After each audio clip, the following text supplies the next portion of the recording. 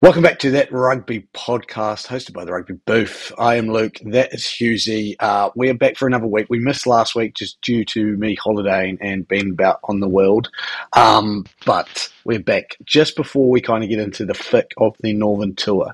We are three weekends out, I believe, three weekends out from the first games kicking off, which for me is a Japan game for you is an England game, but we follow up your England game, I believe, or you follow up our England game. I can't quite remember how the schedule works out.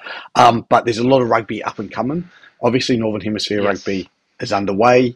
Southern Hemisphere uh, rugby um, is starting to get club rugby underway. When we say club rugby, our franchise rugby, our super rugby, some teams have been photograph training. One player, notably, who had made – the jump from rugby league to rugby union in a Waratahs jersey has come out, Joseph Suaalii. So that's awesome to see.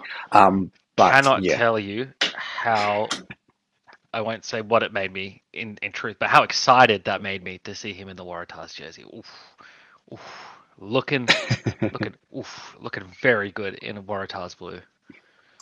Yeah, a bit of a different blue to the Roosters blue. But first, I wanted to mention something. Obviously, on our last podcast, we were a little bit sarcastic with the Springboks and their win of the Rugby Championship, although thoroughly deserved. We didn't take that away from them. But I just kind oh, of yeah. wanted to do a bit of a deep dive into, and this wasn't this wasn't aimed at the Springboks fans because I don't think a lot of them are saying this is the greatest ever all time. But I just wanted to see where the Springboks team related in terms of their All Blacks of the 2011 to 2016 team. So I quickly ran some stats um, just to make sure I wasn't so far off that I still think the 2015 or the 2011 2015 All Blacks that branch was the greatest of all time All Blacks mm. team. And and the re- the reason I still believe that, and I think I'm going to sway a few people, is the fact that this is this is the data that was pulled. So the Springboks from 2019, from the first game in 2019 to their pre Northern Tour, the Autumn Series in 2024, have played 61 games, have won 45 of them, lost 15, drawn one, for a win percentage of 73.77%, and two World Cups in there, and a British and Irish Lions Series. Those you can't take away, obviously. Massive wins, mm. um, massive um, achievements. 73.77% is a fantastic win percentage for any team on a global stage. The All Blacks 2011 to their 2016 pre Northern Tour. So I did it all the way up until they went on to that Northern Tour. Um, 76 played, 69 won, 5 lost, 2 drawn for a 90.79. So pretty much a 91 versus a 74% ratio we're looking at. Two World Cups, obviously no um, British and Irish Lions series during that time because in 2013 it was Australia, 2017 we hosted the British and Irish Lions. So you're looking at two very different teams here. Now, I think what I'm seeing and what I'm understanding here is I think the competitive balance of rugby has shifted between 2011 and 2016. And what I mean by that is I think if you look at rugby now than when you look back then, there are more teams at the top. And I say that we look mm. at it. I know Australia may be one of those teams that have fallen, but even fallen isn't a right way I would pitch that. I would say that at at this point right now, South Africa, you know, you've got your islands, you've got England's not far off from top shelf. You've got yeah. your All Blacks, your French, your uh, um, your your Wallabies. I was going to say the northern well. hemisphere has has risen. The northern hemisphere, like I would say that in southern hemisphere rugby has improved. Maybe not Australia, but New Zealand and South Africa and Argentina have all improved. I think, like in terms of just the technical ability, how the game is played, how they've understood the game. That's natural. Every every team should be. Every team is is constantly um, improving. It's just how they how fast they improve alongside others, right? Like there's there, you know, just because that's how sports science works, that's just because that's how you know game theory and strategy works. Teams are constantly getting better. Athletes are constantly getting more athletic. People are people are uh, better athletes than they were now than they were a decade ago. Like that's that's in every sport. This is the same in every sport. This is not exclusive to rugby. What I think though is that the northern hemisphere teams, their rate of improvement has been higher than that of the southern hemisphere. But that's because they also had a lower point to start from, if that makes sense. So I think you know you look at the improvement Irish rugby has made, um, which has been a long term strategy for them. And where if they where did they adapt that from? They adapted it from New Zealand's high performance um, program. Uh, so I think, and, and you know, South Africa, I think, has really, really improved quite a lot, and is probably the nation that has the science of rugby down the best, right? Um, and and yet they don't have the same winning percentage as the All Blacks from that golden era. And the, the reason is, is as you said, it's the competition, and it's not as if these teams have just suddenly come out of nowhere. They've been improving this this whole time. They've just been improving at a faster rate than the, than their southern hemisphere counterparts. I mean, you know, look when you're at the pinnacle of the game, like the All Blacks and Springboks are, there's only so much growth you could do. At that point, you're you're pushing the envelope. You're at the cutting edge. You're developing new stuff, and there's only so fast you can go with that within the laws of rugby. The the Northern Hemisphere teams they were in a lot of cases copying the pattern of successive you know an All Blacks or Springboks system, or you know sort of developing their own internal competition and building that up. France, for example, and and, and boosting rugby that way. Um, so yeah, look, I think that you're 100% spot on. It's the, the the rugby landscape at the top level is is probably more competitive than it's ever been. Yeah, yeah, and that, I definitely wanted to highlight that. But then I also wanted to highlight the next stat that I pulled because I kind of thought, well, okay, so what what what does the South African team have to do to be the greatest of all time? And I actually think that these are the years that they could potentially put themselves down as, as the greatest of all time, and not what we previously saw from 2019. So the reason I say that, the All Blacks from 2016 to the post Northern Tour right now in 2024. So we've got eight years. We've got 97 games. They've won 73, lost 21, drew three.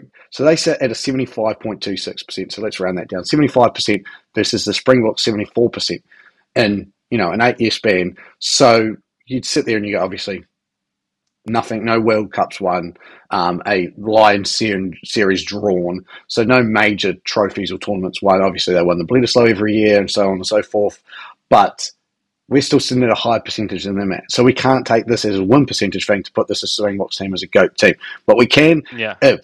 And the reason I say a big if, if from this 2014 to 2027, they do what the All Blacks did, which is 90%. And if you think this year, I believe, or you know, since that World Cup, if we take it from 2023, they've lost like two or three games. So they're probably hmm. sitting at a high percentage. I haven't actually broken that down. I would love to.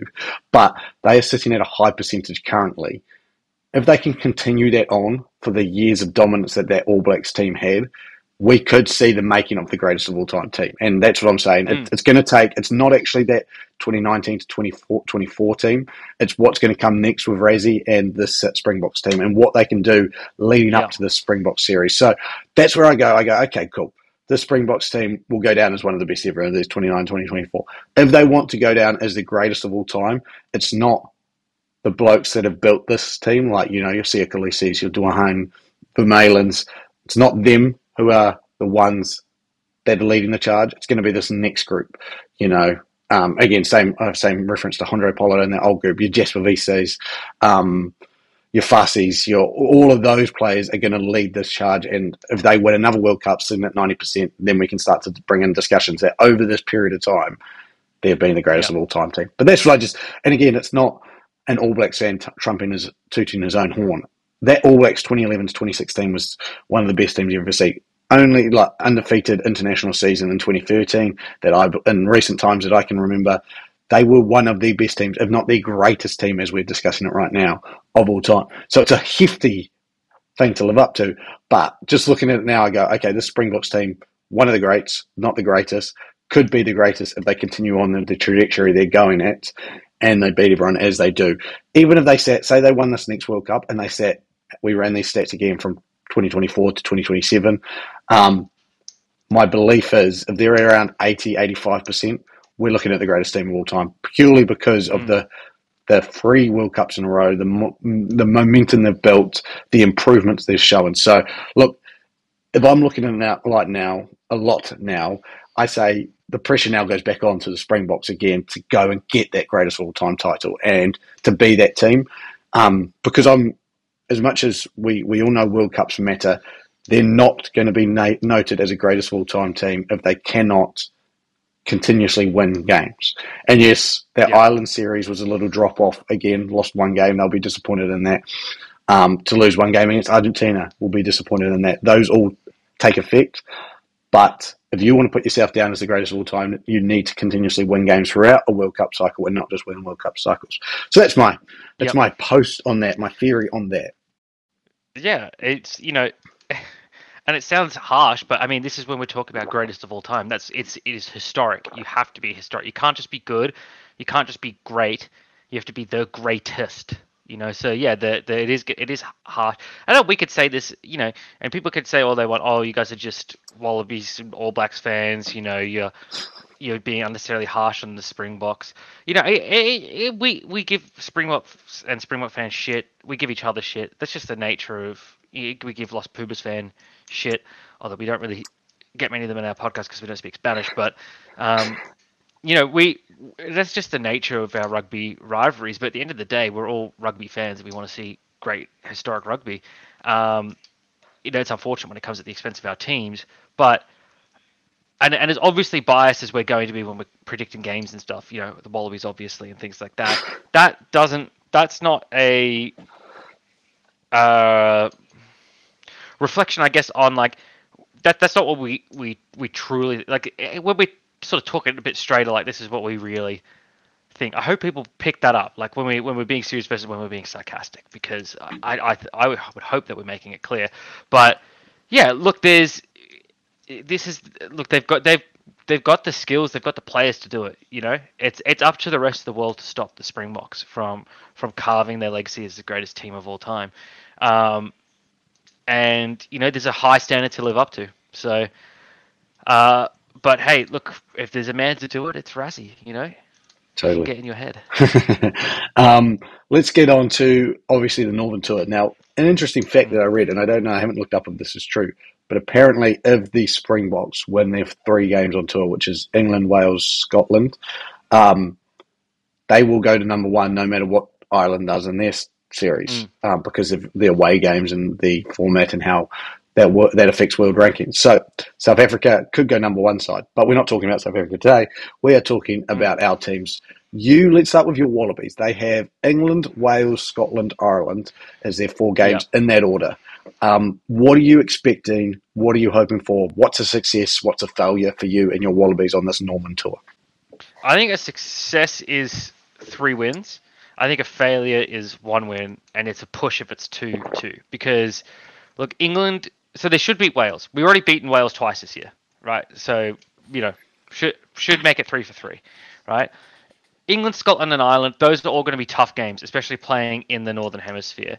Um, what I want to see, I want to see Tane Edmed get his shot to put his stamp on the 10 jersey, right? Noah's had a shot, he hasn't put his stamp on it, right? And that's like, but he's he's he's done okay. He hasn't done enough to own that jersey. I think you've got to give Tane Edmed a shot to make that jersey his own. And if he doesn't do it, we continue the competition till we find out someone who does put a stamp on it, right? Edmed has been fantastic in the NPC. He has been developing nicely. He's put in, he's been putting in the hard work, same as Noah has. And I, again, I don't want to take anything away from Noah at all this year. He's been in an in a, in a competition two orders of magnitude, if not more, more difficult than the one Edmed's been in. Right to play, be playing the rugby championship teams, as we keep saying, three of the four semi-finals from last World Cup is is much different than playing, you know, uh, the NPC teams. It's just it, it, it just is, you know. Uh, but Edmed in those games has put has shown he's a class above those players, which is great. That's what you want to. That's what you sh- you would expect to see from an international level player. So I want to see Edmed in there as Wallabies ten. Um, you know, I want to see you know Skelton's coming back. I want to see how he fits into the side, if at all. Um, you know, they're taking a lot of players in these tour tours. Um, what I would say, the thing I'm most excited to see is, I think, and it's probably no surprise, is the Wallaby shining new toy, Joseph Suaalii. Where does he fit in into the Wallaby system? Is he a fullback? Is he a wing? Is he a center? Like, where where does Schmidt think his true strength lies? I'd love to see him at inside center. You know, I think he's a hard ball carrier, can make good contact, and can make some plays out of that inside center position, which everyone knows I think Hunter Paisami is a good player. I don't think he's the Wallabies' answer at 12. I just don't. Um, and there's nothing against the bloke. I think he's a great bloke. It's just that's just my opinion on the matter. I'd love to see Suaalii slot in there. Um, I'd love to see, you know, I'd like to see a bit of a youth movement for the Wallabies in the backs. I'd like to see Jorgensen get some regular playing time, either at fullback or on the wing, um, and let Len Ikitau, Len Ikitau should retain a 13 spot. I just like to, I, I'm excited to see what Schmidt does with the back line. Like, wh- how does it all uh, figure out? How does it all come together? Um, Dylan Do you Pietsch, I'd love to see him as well. Do you see some consistency throughout the four games, or do you think he tries combos throughout the four games? Like, would you rather Well, see? very I guess results dependent, isn't it? I I it's a it's a great question. I, I honestly don't know. I think what we saw from him in this rugby championship, he didn't change too much. He made some changes, but not too many. I would say it would be a relatively consistent side with maybe one or two changes each game. You know what I mean? Like he'll keep the a lot of the plays. He might do a rotation. So he might do, say for example, you know, he's between game one and game two might change a winger. Then between game two and game three, you know, swap the winger back, but then move in a different center or something like that. Um, I think we'll see probably relative consistency, but with a couple of swaps here and there, just to test out maybe an individual piece or two, rather than wholesale changes. Like I wouldn't expect to see two totally different backlines between the different games. Yeah, interesting. And so yeah, so two wins you're kind of questionable depending on who those two wins are, and then and it depends on the nature of the wins and the losses as well. Yeah. You know, like it, it's you know, we could we could say you know as much as we might say, look, oh yeah, four wins is is is what it will be. You know, you could have uh, four wins where you barely scrape guy and you get him off a lucky referee call that goes your way. You know, I'd rather have three wins of good consistency and a close loss than four wins that we don't deserve to win because it's more, uh, you know, the tours are nice and all, but the results don't go towards anything. They don't count. They're not a competition, right? You know, as, as much as we have, you know, made fun of the rugby championship in our recent podcast, you know, there you want all wins because you you know you you want to win. You want to win the competition. You want to beat the Springboks. You want to beat Argentina. You want to beat All Blacks, things like that. But you know, with these northern tours, it is about the growth and development of players more so than it is the results. So I'd rather see some really great rugby out of the Wallabies than than X number of wins and X, and Y number of losses. You know, like if we say you know the last game against Ireland, if that's the Wallabies' best game of the year and it looks like a squad that can take it to the number one teams in the world and they narrowly miss out, that's better than I would say uh, really scrappy and sloppy games from both teams the Wallabies somehow managed to come out on top. And I know that sounds weird and it sounds a bit counterintuitive, but what the Wallabies have been lacking is consistency, right? It's been, you know, being able to string together good performances. So I'd like to see four consistent performances across uh, across the games, you know, with a minimum of turnovers, minimum of penalties, things like that, which they wish they showed in the Bledisloe. Like there weren't that many penalties in the Bledisloe. Uh, so that that's what I'd really like to see uh, from the Wallabies. And um, yeah, so so that that's more what I'm looking for than wins and losses. Is just the the actual team performance. Is watching the games, seeing how they go, and you know what? I would take I would take 0 and 4 if we could f- find a good fly half who's going to be our future fly half for the next five years or so. Who's go, who's put their stamp puts their stamp in the position and says, "Yep, this is mine. I can lead this team around. I can I can get us uh, wins against the top side." You know, I I w- these m- wins don't matter. It's more about the performance and the development. I feel like if you get that, you won't be 0 and 4 um, because Exactly. you are, I know. you know, you know what I mean. Exactly what I mean because you are a fly half away from pinnacle rugby. Some would say in in the Australian circles. Um, my All Blacks take on Japan, take on England, then Ireland, France, and Italy. So ideally. Easy game, easy game to start, easy game to finish with Japan and Italy. Obviously, can't write them out. They have made history before two strong teams, but against the All Blacks, um, I believe yet to get wins on the board for either of those teams. Um, whereas we have the big three in the middle: England, then Ireland, then France. Will be really e- interesting to see how we attack those games, what squad we select. Um, but saying that we have named our squad, unlike you blokes, um, not a lot of changes um, to the squad that was seen yeah, right the way through the uh, rugby championship. So free hookers are the same, props are all the same. Locks pretty much all the same. Um, Lucy's all the same. Only difference is Hotham is out for Cam Roigard as Cam Roigard made his return um, through uh, NPC rugby for Counties Manukau. Uh, so he will be lacing up the boots. First five eights all the same, midfield's all the same, outside backs all the same. So um, what we're looking at and the argument and the discussions all leading up to the squad naming was what's going to happen with Sam Cane and TJ Perenara. Our two old heads who have performed diligently in the black jersey, have done their job, obviously moving overseas next year, um, both over to Japan. Mm. What is going to happen to them? Are they going to be selected? They have both been selected. Pre the selection and pre hearing Razor discuss it, I was like, this is an opportunity for the All Blacks to take a chance, to rebuild, to look into the future, to go, you know what, TJ and Kano, you've done a fantastic service for the All Blacks, but your time is over. We don't need you on this tour. Mm. I was all for that. I was like, let's get the young backs in, let's do it, let's throw them in the deep end, see if they swim, let's start the rebuild now. I'm now seeing why he's done this. And the reason I see this is, especially in the halfbacks region, you look at Cam Roigard 23, Cortez 23, Noah Hotham like 21, TJ Perenara 32. What Cam Roigard and Cortez have not done is go on a Northern Tour yet. What TJ Perenara has done is a plenty of times is go on a Northern Tour. So I go, what can TJ teach them? Even though he may not be a player, he may not even play on this Northern Tour, TJ Perenara. Yep. He probably will. But I look at Cam Roigard's my first choice halfback in any team I'm selecting other than the World International one with Antoine Dupont's name in there.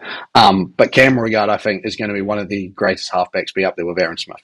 I go, Cortez Ratima has shown he's capable at a test level. So I think TJ Perenara is there for the experience to see what else we can, what uh, more information we can ooze out of him. Northern Tour game. Exactly. What more can we information can we ooze out of him? Can we try and pull from him? Can we get from him to Ring help these young bucks guys? Yeah you, you look at him and those two, he's 32 now, TJ Perenara. He's these other two, 23, are nine years still in the game. That right now is two World Cups, if we think about it. Um, yeah. So the way we have to be looking at this is if those two are around for the next nine years, then it's it's, it's three World Cups 2015, World Cups. 2019, 2023. Yeah. There you go. 2015, 2025, 2029, 2023, 2030, whatever. Three World Cups, potentially three World Cups. Um, yeah. So what we're looking at is how can we get the information from arguably our second best halfback All Black ever. Like what we can't diminish either is TJ Perenara's resume, and that's he sat behind the greatest All Black of uh, halfback of all time, which is Aaron Smith, which is totally fine, and did a bloody good job. With any other team, probably other than Goldilocks at Springboks, would have started at um, would have started in any other team up until now as well with Dupont. So I go, look, give the man his credit. He's done his thing. Same thing with Sam Cane. Sam Cane, 32, obviously has the experience, not quite the same as the loose forwards um, because they're a little bit older. You look at Ethan Blackadder at 29, but only 15 games of experience. Samipeni Finau, 25, four games of experience. Luke Jacobson, 27, 24 games. Dalton Papali'i, 26 with 36. You've obviously got Ardie in there as well, but more to do in a loose forward situation. And Wallace Sititi, the new boy of 22, with five games in there. So I go, it's the same thing like Sam Cane, 100 games of experience. There is no doubt that you're not trying to ooze as much information for the Northern Tour. For guys like, I don't think even Blackadder's been on one yet. I don't think Finau's definitely not been on one. Sititi's not been on one. So only the only guys that have been on one. I don't even think Jacobson might have gone and not played in any games. So the only guys that have played are Savea, Papali'i, and Cane. And I go, as All Black fans, we expect wins. We expect 90% win rates. That is what we expect. Mm. Razor also knows this. Razor goes, if I can take a squad that can do a job over there, even if they're not going to be here around for the future, but if they can get me wins now, and if Sam Cane is that guy that gets them a win now, and they can teach some of those younger guys coming through what it's like, so that the Luke Jacobsons, the Samipeni Finaus, can teach that next generation as well. why not? So that was my big takeaway from the All Blacks selection. The only other thing I'm really interested in is who's going to start at first five because all the stories are correct. Beauden Barrett, to me, was World Player of the Year twice as a first five.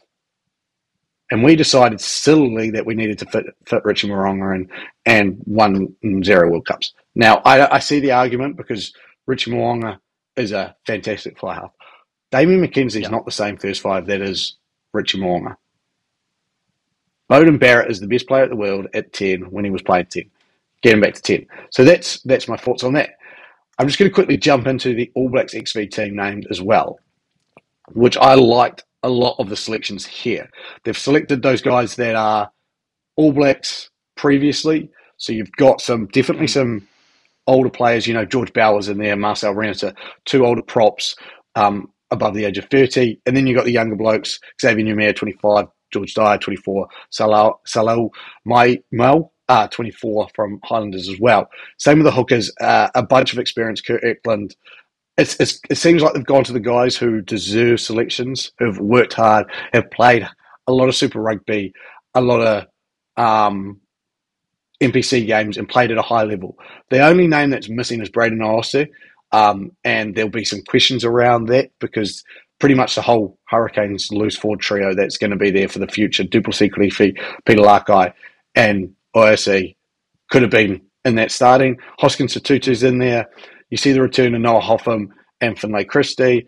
Uh, big raps on this Josh Jacomb coming through. Um, and just recent news, the Hurricanes lost Brett Cameron to an ACL injury, so he's not going to be playing first five for them anymore. So we're out of first fives. So there is some rumours that Jacomb we could be trying to steal him from the uh, grasp of the Chiefs to get him down. Um, another player I'm really excited for. We've got another Naholo in a black jersey, Kini Kini, um, playing in the All Blacks XV. So now we'll be able to start um, a song based on him as well. Um, but the outside books look dangerous. And Riley Higgins, who luckily enough I've played with, um, is one fantastic rugby player coming through the Hurricanes, 22 years old in the midfield, could really shoot up into that jersey. So look, it's going to be interesting to see how this team performs. They've got two games, I believe. One's against, um, let me see, actually, I've got it. One's against Munster, and then the other's against Georgia. Um, so mm. two interesting games, you know, obviously a club team. Munster, no slouches yeah. in the URC. Um, won it a couple of years ago. We were in the final last year. Actually, and on that, Munster and Leinster just had a game and sold out Croke Park or whatever it was. And 80, 80 plus thousand people to a URC game, which was a new record for that. So, look, I think yeah. that Munster game will get a, a, few people talking. I believe it happens the day of the England game. So it's like you kind of roll into um, New Zealand rugby there. So lots of big things happening in the All Black squad, lots of selections happening, lots of interesting selections going forward at the end of your tour. Obviously, your team hasn't been named yet the Wallaby squad. Um, but as you've said, you, you, you know Will Skelton's coming back into the mix. Joseph Suaalii's made himself available. Is there any other names you potentially chuck out there? You've chucked out Tane Edmed that you'd like to see, or do you want to see some more flow of what you've had? Dylan Pietsch. I think he's Marika Koroibete has done great service in a Wallabies jersey. I think he's probably it's time for him to retire or or you know just focus on his club level game. You know, and he deserves the break. Um, I think Pietsch, from all Wallabies wingers in the international period this year, has looked the best to me. Right, more so uh, than you know Kellaway, more so than Daugunu. Um, you know, even my boy wonder Max Jorgensen, when he's been on, he's had some explosive plays. I think Dylan Pietsch has been well consistent, and his defense has been fantastic as well. Great tackles, great contact, runs very hard and very physically. Um, I want to see more from him. I think he deserves a shot in a Wallabies jersey. I'd love to see Corey Toole chucked out there for a game, just to see what happens. Just to see what happens at a Wallabies level. Can he replicate his Super Rugby success? Chuck him out there against Wales. What have you got to lose? You know, what What have you got to lose? Uh, just you know, just give give him give him a shot give him a shot. You know, I think it gets a game like a Scotland where it's going to be a grinded out type of game, which it typically is against the Scottish. Not the one to throw him out there for. But Wales, where it might be a bit more free flowing, or, or Ireland, or even you know, I think that's a, that's a good game to give Corey Toole a shot and see what he, he does. You know, I talk a lot about the the backs, um, but uh, you know, I'd like to see as well. Look, I think the forward from the forwards, I just want to see a consistent forward pack who plays consistently. You know, so the same players who get the come in and get the job done don't need to be the best in the world, right? Just need to be consistent every game and put out a a good enough performance, right? Um, like like that's the main thing. It's just getting consistency. Is I think you said this before. It might have been you. Is is narrow or it might have been uh, something else totally unrelated. But narrowing the gap between their peaks and troughs. You know, like we don't you know we don't want to see super super high super super low super super high super super low no one wants that sine wave we want straight line flat line you know heart attack cardiac arrest straight line um, i mean that's not how a heart attack works it's actually rhythm but we want dead we want we want the we want the the cold stony efficiency of a dead heart. just flat line. That's output. You, you know what you're going to get from them every single game because the, then you can plan around that. You can base your game plan around that when you know what you're getting every single time. You know, if I play X player Y position for Z number of minutes, this is what I'm getting out of them. That's what we want. Um, so uh, that that's what I really want to see from the four pack is just consistency because they've had some fantastic games this season. They've had some absolute shockers. Interesting, and we'll, we'll cover it all as your team does get named. Last bit of rugby that we haven't covered, but the old Johnny Sexton versus Rieko Ioane um, mm. biff that's been going on over on the on the line. Um, Johnny Sexton to release a new book, obviously is going to try and push out some previews and some yeah. sale ops. It's going to be called and, uh, Sexton in the City. And and his his take was that Rieko Ioane came up and told him to mm. uh, enjoy the flight home and enjoy your retirement, you old c word. Um, hey, cunt. Um, and he said, you know, this isn't very All Blacks like, you know, no dickheads, ruddy, ruddy, rah. Let me start off yeah. from an All Blacks point of view. Now, I don't think Rieko, Rieko Ioane is a dickhead but he loves trash talk, and there's no doubt about yeah. it. He's one of the rugby players who loves to do it, who enjoys it, who likes that part of the game, the confrontational part of the game. You've seen him. There's moments against Wales where he's done it. There is just times, even in Super Rugby, you can see he's one to be involved. He loves that part of the game, which is you can be that person, and you can also do it with a bit of class. Was it needed? Yeah. Probably not. However, However, I'm going to back up Rieko in this situation because those Irish came to my country. They came to my country and they said to our captain Sam Cane that you are a shit Richie McCaw. Not not even a year earlier than this World Cup. So Johnny Sexton was there as uh, O'Mahony went and screamed that at our captain's face and won 2-1 a series in New Zealand. And yeah. to follow up with that, Johnny Sexton, well known as a dickhead of rugby, banned because he shouted at a referee in a game he wasn't even playing in um, because they lost. So I kind of went, you know, this is dickhead against dickhead. Now, who is the least dickhead? I'm taking Rieko In any opportunity, I see Johnny Sexton's name down there. And I'm taking this Irish arrogance that they had all pre that World Cup. This wasn't an attack on Johnny Sexton from Rieko. This was attack on Irish rugby, and Johnny Sexton just happened to be the mantelpiece of Irish rugby at that time. And yeah. Rieko said, "You know what? Here's a knife. I'm going to stick it in." And you know what? I am not bothered by it. Win a quarter final, Johnny Sexton. No, you can't because you're retired. So bugger off into your retirement. Enjoy the book sales, and Rieko will laugh and consider himself the Joker. Yeah, look for for my mind, I, I agree with your first point on this with the, you know, trash talk, keep it classy. That's rugby's way to do it, you know, and that's, you, you want the cleverness, you want the, the, the banter part of it. And that's what, that's what makes great stories, you know? So, you know, if he just, if he'd left off the swear word, I think it would, it would have been 100% behind Rieko. If he just said, you know, enjoy the plane ride home. I hope you have a lovely retirement. It's great. Leave it at that. Don't add the cunt at the end or you old cunt. Just leave it leave it at that. And that's such a stinging burn. That that for me would irritate me more than if they called me a cunt at the end of it. Like, you know, enjoy the play ride and enjoy your retirement. I'd be fucking burning at that. Whereas if you called me your cunt at the end, I, I feel like I could just yell back something and call him a drug, uh, well, not derogatory, but like a, uh, not uh, like a like swear at him back. You know, you give him that opening. Um, but you know, you're right. No, there's no not really any sympathy to be had for for Sexton in this. Um, but yeah, let's let's keep rugby classy. You know, we just, just keep it. You know, uh, a thugs game played by a gentleman. You know, let's keep it. Let's keep it like that. Let's you know, there's it's always, uh, it's it's it's always much more satisfying when you when you outwit someone like that. So let's let's keep it classy, guys. You know, trash talk, yeah, but keep it classy. Class, you know, James Bond rather than Austin Powers. Um, yes, we are three weekends away from some rugby, I believe. Actually, maybe even two weekends because I think the All Blacks play the Japan game pre the England game, so we might be two some- weekends away. From, There's some Wallabies XV action as well. Um, going that's happening. I think that might be a little bit later on though.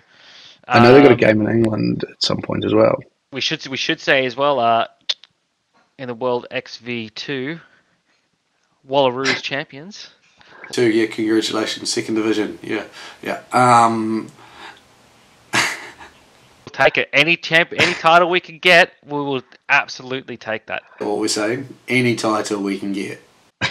Any any win's a win. You know, like there, there's no no uh, there's no shame in that. You know, like the the the ladies played hard. We didn't play like it's not a terrible uh, second division. Scotland, Italy, South Africa, uh, Wales, and Japan. Like those are those are still decent teams. And where did you say, oh New Zealand finished fourth, one win. Hmm. Uh, that's oh that's where they finished in the table. Where did they finish overall? Did they get did they get into the finals? lost Was there even finals? I thought it was just a table. Might be. Well, you lost it. It's just a table. Yeah, we lost to England. A And did we did we lose to Canada in this one, or are we have we not played Canada yet? Uh, let's take a look here. Uh, New Zealand, you lost to Ireland. Yeah, we did do that. lost to England, and you beat France. Do we have a game against Canada? No. Um, Uh, no, no, you don't. Yeah, England were the champion. Yeah, it's just the table. So England won that. You came fourth. Australia won. That's right because we we didn't win the title. We just won our last game against Scotland. Um, but they it was basically the title game because Scotland was coming second. So. Um, Oh yes, I see. Wait, there's but there's no more games, is there?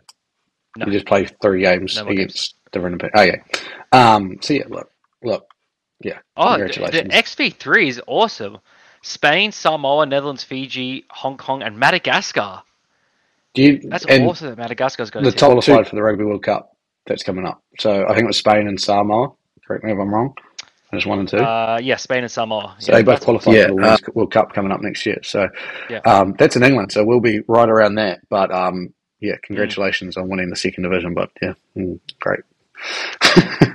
It's not. It's nice to. It's nice to win win a win a title. Win something, yeah, yeah, You Have a trophy at least in the old um, photo op Do you- do in you- the end of season about to ask you photo. trophy. You got the Bledisloe, but I guess it doesn't really count as a trophy.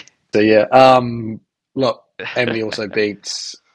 You'll have some trophies, the Wallabies, because you beat Wales in the mid-year test, so you'll have a trophy Yeah. for that. They'll they'll have made a trophy for that. Um, look, we will be back again next week, um, same time, same place. Ideally, I think the Wallaby squad will be named fully by then, um, so we'll cover that. So. I would be surprised if it's not. And then yeah, we'll be getting into some more rugby very soon. Thank you for joining us. I've been Luke. That has been Husey. This has been that rugby podcast. We will see you next time. Goodbye. Peace.